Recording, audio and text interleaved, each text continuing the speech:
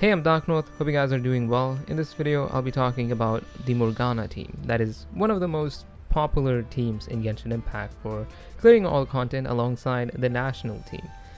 And basically trivializes all content in the game except against single boss enemies like Mechanical Array in Last Abyss and the Magu Kenki, where you might run into some problems, but you should still be able to clear it. And I'll go over the pros and cons of why it is so broken later in the video, but first let's talk about the actual team and how it works. It consists of Ganyu, Mona, Venti, and Diona.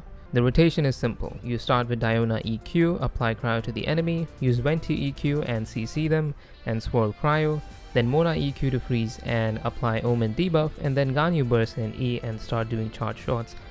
And repeat whenever everyone's bursts are off cooldown over and over until whatever you're fighting is dead. So let me go over why these specific characters make up this team and if there are any possible replacements if you don't have them. First is well obviously Ganyu. Her charge shots do a lot of damage, she also gets crit rate from her passive, her burst has no downtime as the cooldown is same as the duration, it also has a unique interaction with Venti burst, so in this team you do want to level her burst to as high as possible as it's going to significantly contribute to the team damage.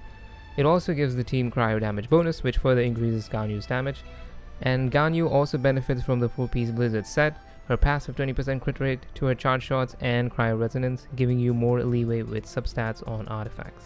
The only character that can take her place in this team would be Ayaka. While it won't work the exact same, it does work. So if you don't have Ganyu but have Ayaka, you can also use this team with her. Next is Mona, who is the most important part of this team because of her burst which inflicts Omen debuff on enemies. All enemies with this debuff take 60% more damage at level 10 of Mona's burst. But the cool thing about it is that if it gets frozen, its duration gets extended, and with enough ER on Mona and Ganyu and proper batterying, you can have this debuff on enemies almost all the time, getting a near permanent 60% damage modifier which is basically allowing Ganyu to reverse melt without using a pyro character.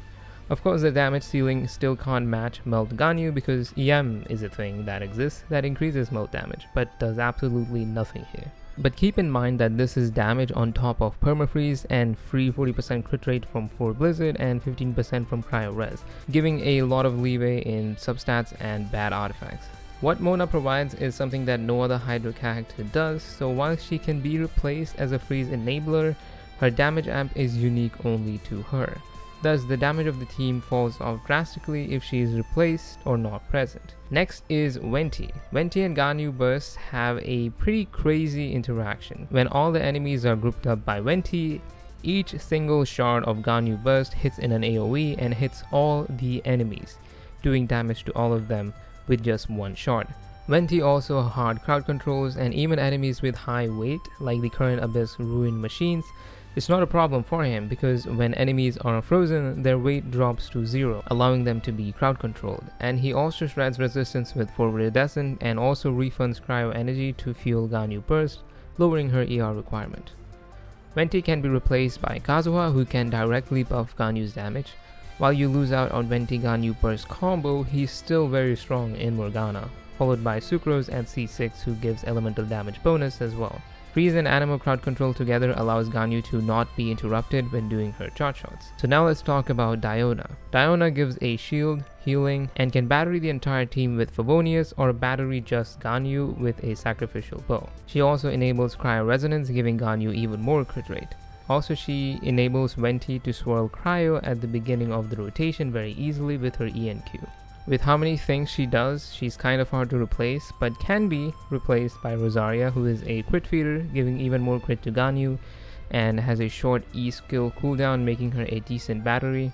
Kaeya also works, but you just have to stay up close to the enemy as it all revolves around the character. So let's talk about some pros and cons of Morgana. First, it has very high AoE damage, which is amazing for the current 412-3 and absolutely decimates and trivializes any content that requires AoE damage. The enemy being frozen permanently means their mechanics don't matter. This along with Anemo crowd control from Venti means you don't have to dodge as much or even think if you have enough ER, you can just EQ through your team and do a few charge shots and achieve victory. Third is Ganyu in this team gets 40% crit rate from 4 Blizzard, which is always active, 15% from Cryo Resonance, and 20% from her passive for her charge shots. 75% in total on top of the 5% base, making it 80% free crit rate.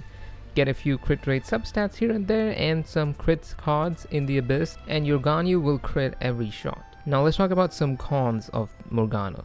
Against single bosses with high HP pools, like in the previous Abyss Mechanical Array and the Magu Kenki in the current Abyss, this team would be slower compared to other teams and won't be as trivial as it is with multiple enemies. Though obviously it can still clear that content, it's, it's just gonna be harder compared to using another team. And of course, Cryo Slimes, the mortal enemy of Morgana. And that's the Morgana team. Hope this helps you understand how it works and how to play it. If you have any questions or corrections, feel free to leave them down below. If you found this helpful, consider leaving a like and if you want to see more stuff like this, be sure to sub to the channel. We are close to 400 subs, so I would really appreciate your support. Thanks for watching, have a good one.